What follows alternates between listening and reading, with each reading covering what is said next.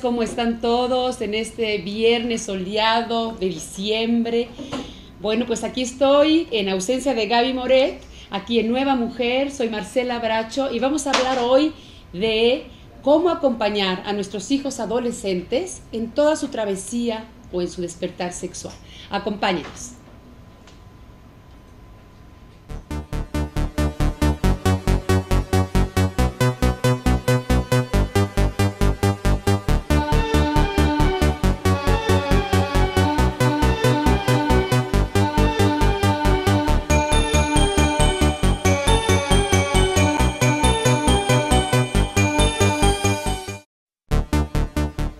Bueno, pues aquí estamos de nueva cuenta.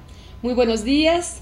Estamos con un tema maravilloso el día de hoy que creo que les va a servir a todos los que somos padres de familia, madres de familia. Así que quédate con nosotros en estos tres bloques que vamos a dar hoy.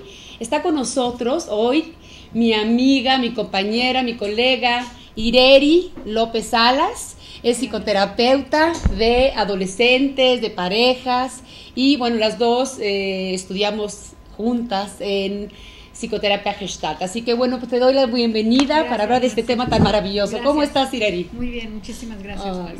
qué emocionada. Sí, emocionada. Sí.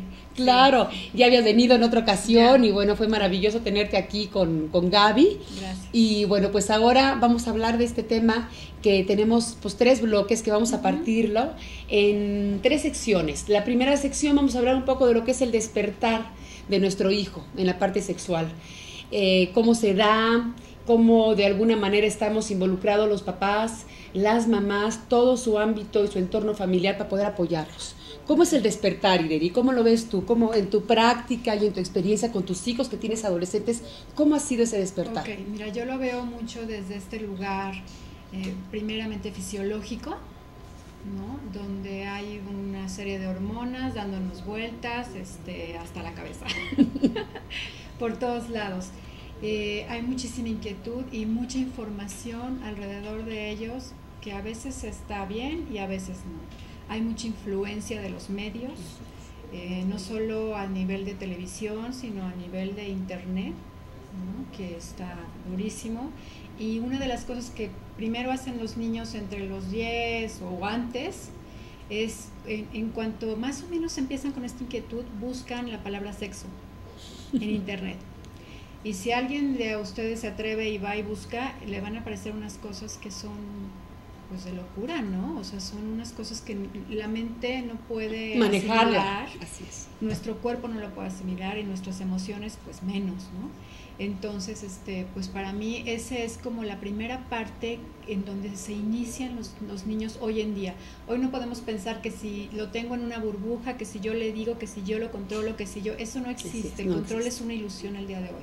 La información está ahí y no necesariamente está bien puesto. Por supuesto, Irene, yo coincido contigo, ya no es los tiempos de antes en donde verdaderamente era restringida la información nada más nuestros padres nos podían darlo, o nuestros pares, o en la escuela, sino que ahora está a la vista y al acceso de todo mundo. De un clic de distancia. De un clic de distancia. Así es. Porque además antes había televisión y lo podíamos como restringir con algunas claves, ahora ya no. Ahora todo mundo tiene, todos los niños hoy en día tienen ya la posibilidad de tener su iPhone, en donde se conectan en cualquier café, internet con sus amigos y por supuesto que no sabemos en la controlar. Escuela, en la escuela, o sea, es impresionante, ¿no? Yo, yo he tenido casos en, en consultorio de niños que tuvieron acceso por otro niño en la escuela.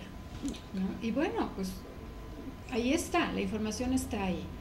Y no, no podemos estar restringiéndola porque si la restringo aquí, pues se van a ir a la casa de enfrente, o sea, no sé. Hay, más que restringir, más que estar cerrándoles los caminos, hay como que dar una visión y hay que dar información, porque la información nos da poder. Así da poder de decisión. Así es, totalmente de acuerdo. Entonces, el despertar, el despertar viene de una manera ya como muy espontánea. De hecho, hay que ver que el despertar sexual es desde que nacemos. Ahí está. ¿no? El, es, nacemos, somos seres sexuados, por naturaleza. No, no podemos dividirnos y escindirnos y decir aquí, eh, aquí el de sexo y aquí estamos nosotros. Dentro de las dimensiones de la sexualidad estamos juntos. Hay muchas dimensiones. Es un proceso psicosocial, biológico y espiritual. Así es. Son cuatro dimensiones de la sexualidad. Entonces no podemos apartar que la sexualidad tiene que estar a- afuera. El niño empieza a despertar desde que está dentro del vientre. Así es. ¿no? Porque de hecho nacieron de un, de un contacto físico, de un, de un sexo, de una conexión entre padre y madre en donde eh, surgió desde el vientre y se dio, ¿no? así Ahora sí que nacimos de un orgasmo, vamos a Así llamarlo es. así, ¿no? Somos Qué miles maravilla. de orgasmos. Son miles de orgasmos. Ajá, y eso es una delicia. Claro, claro, y que lo puedan ver así, y que sea una forma natural, y que, y que podamos hasta llegar a esta, esta esencia espiritual que tú estás hablando, que es hermosísima, y poder hablar con ellos de, de esta parte, donde no solamente es el cuerpo, ¿no? No, no solamente está implicado el cuerpo, está implicado tu espíritu, tu emoción, este, Tus sentimientos. cosas, tus sentimientos. Claro, claro, porque no solamente entonces desde ahí ya estamos despertando. Ahora, ¿cómo cau- encauzarlos a los niños? Porque como tú bien dijiste, el niño en el morbo y en la gana, desde que son pequeñitos, ya tienen sensaciones, ya hay pulsos, ya son, ya son esos impulsos Claro. sexuales. Sí, claro. Entonces ya los tenemos desde nada de que a- hasta la adolescencia, desde pequeño ya sabes que algo está sucediendo, que algo te conecta con el placer. Es energía vital. Es energía vital. Es energía Así vital. es. Es la fuerza en- energética por excelencia Así y la fuerza creadora por excelencia, Claro. que viene desde la energía sexual. Sí, así es. Entonces, desde ahí ya está con esos pulsiones sexuales, no saben qué es lo que está sucediendo, pero ya desde que el niño empieza a masturbarse, desde en ese momento ya está sintiendo que hay sensaciones placenteras. placenteras. Y bueno, ahorita que tomas este, este tocas el tema de, de la masturbación, es importantísimo, ¿no? importantísimo permitir ese espacio, no, no sancionar el espacio, no satanizarlo, no ponerle ahí un, ah, eso es malo, se te va a secar la mano. No, se te va a caer el pelo. Esas cosas que, que antes se daban, o no sé, tal vez se siguen dando, ¿no? Este, dejarlo ser, dejar conocer su cuerpo. Llévense un espejo, ¿no? Las niñas, llévense un espejo y, y chequen su cuerpo, Así es. ¿no? Revisen su cuerpo, todo su cuerpo, ¿no? Vagina, todo. Y hablar de las cosas como se llaman. Porque imagínate que tú le hablas a tu niño de 10, no, de 5 años, ¿no? Ay, es que el pilín, ay, es que tu cosita. No hay que poner el nombre. el nombre, porque al final cuando llegan a la adolescencia y tienen 12, 13 años, no le vas a decir es que tu pilín, ¿no? ¿En qué momento puedes hacer ese cambio? Entonces no hay que hacer cambios, hay que hablar desde el inicio con las cosas por su nombre. Claro que sí, claro. Si ya es en el segundo bloque, de hecho, vamos a hablar de una guía para que ustedes tomen nota, porque hicimos una pequeña guía en donde creo que les va a poder servir y puntualizar más cómo acompañarlos, además de todas las cosas que se pueden ocurrir. Esta es una ciertas guías que vamos a hablar precisamente de esto, darle a cada a, a- a cada parte de nuestro cuerpo su, Su nombre. nombrarlas. ¿no? Nombrarlas, cosas. porque desde ahí empiezo ya, empezamos ya a desvirtuar, a distorsionar la información Claro. desde la casa, desde la casa donde ya no hay congruencia. Entonces, vamos a empezar a resumir. Toda la parte del despertar, todo este conocimiento que tienen los niños desde pequeños, que están sintiendo sensaciones, los papás nos da, empieza a dar como miedo. da miedo. Nos da miedo porque también nosotros tenemos una historia que revisar, fuimos educados de diferentes maneras, no sé cómo nos educaron, cómo eh, abordamos, digamos, este tema, y entonces, por supuesto, llegan nuestros hijos y vamos repitiendo esos patrones y no nos damos cuenta que hoy este mundo está más despierto, ¿no? En, despierto, ojalá pudiéramos despertar como debe ser, pero bueno, a eso, eso que es lo que queremos, hay más Hay información. mucho acceso a la información. Pero no hay tanto el conocimiento. Entonces hay que diferenciar mucho entre el conocimiento y la información. Si sabemos como padres que está sucediendo, que ya llegó todo este eh, vorágine de, de- de información Sí. distorsionada, que con un clic puede llegar a, a- a ma- a- a verdaderamente a traumar a los niños, Ah, porque hay unos traumas No, hay una tremendos que de ahí sí, depende sí, su salud sexual. Entonces necesitamos empezar a saber cómo, pues desde abordarlo desde el principio, desde pequeñitos, desde niños, cuando te pregunten mamá cómo nacieron los niños, nada de que la cigüeña, por favor, no le vamos a dar toda la información porque tenemos que manejar la información a su a su, a su edad. A su nivel, ¿verdad? A Algo su que nivel. él pueda manejar, algo que él pueda entender. Y de esa manera eh, poderlos ir acompañando en el proceso. No es que ya llegaron y de pronto mi hija ya está embarazada o ya empezó, hijo ya se fue con el novio, se escapó.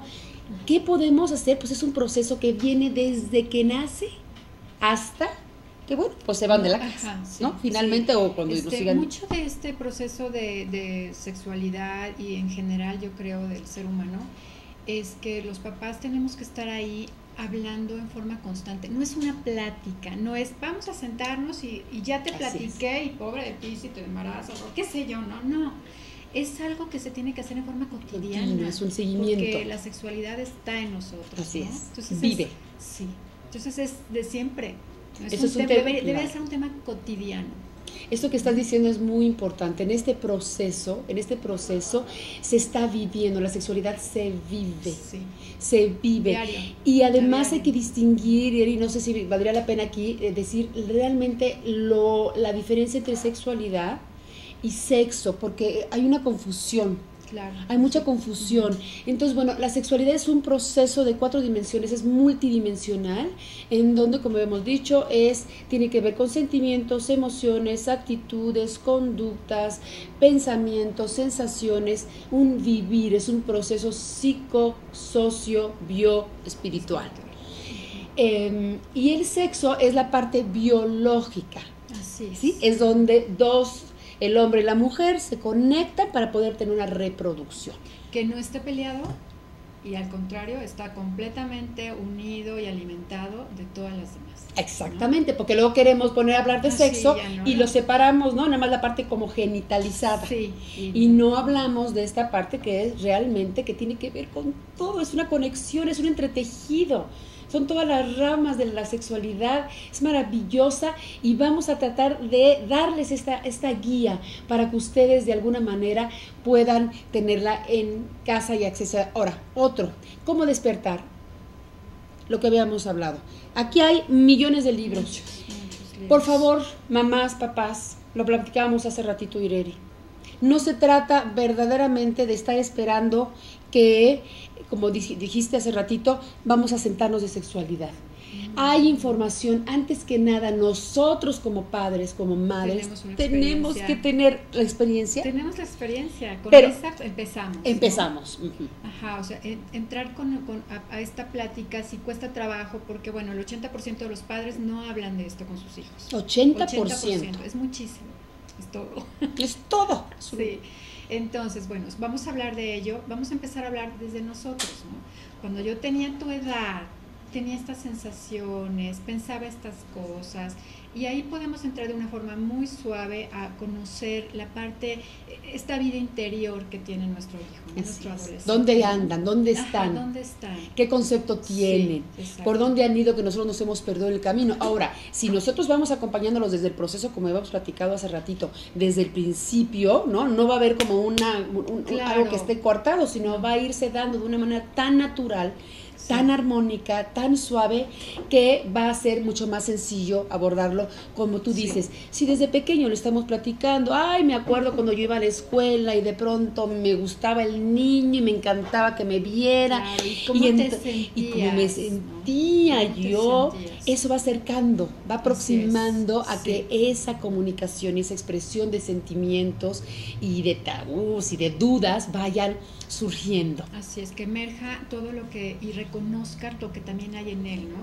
Porque muchas veces este, ellos no pueden reconocer porque se están conociendo, están conociendo todavía su cuerpo, Claro. ¿no?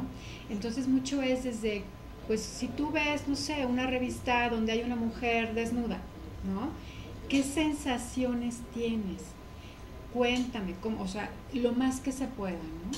Y de ahí va a salir un sentimiento. Por supuesto, ahí ¿no? brota todo y, de- y Exacto, es lo que se sale un trabaja. sentimiento, claro, ¿no? O sea, cómo estás con esto, qué sientes, qué te gustaría, qué te provoca, qué decisiones tomarías. Entonces es como un ejercicio donde uno va reconociendo en el adolescente o en su hijo preadolescente o en el niño este, todas estas sensaciones y él las va reconociendo. Ah, Claro, Él va, va, ay, claro, se siente. las va esto". asumiendo, Claro, las va asumiendo, sí. las va poniendo como suyas, Sí, claro. no está ¿Dónde apartado. lo sientes, no? Que es muy típico de nosotros. nosotros donde ¿Dónde lo lo sientes, ¿no? Cómo estás, cómo te sientes, etcétera. Bueno, pues está muy interesante esto, porque la verdad es que pareciera que algo que ya sabemos, pero necesitamos todavía informarnos más. Hay que hacer todo lo posible como mamás y papás de acercarnos y también nuestra experiencia y además actualizarnos en la información es una manera de poder seguir acompañándolos. Bueno, seguimos en el segundo bloque.